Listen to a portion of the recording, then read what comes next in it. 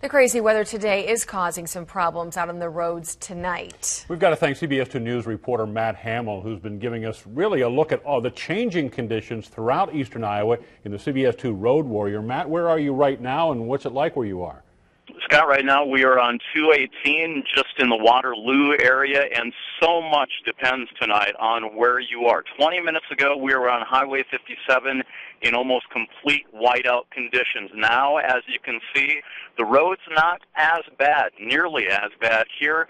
The wind, however, is still the story no matter where you go. We just passed the Subaru dealership, and the flag was practically being ripped off from the pole because the winds are still blowing extremely hard up here, whipping the snow across the road. And we have seen those conditions in some areas that are practically whiteout. We've seen a number of cars that slid into ditches, one rollover accident earlier today on Interstate 380. Some of the state plows are out tonight, and on roads like this on 218 have been able to make some progress.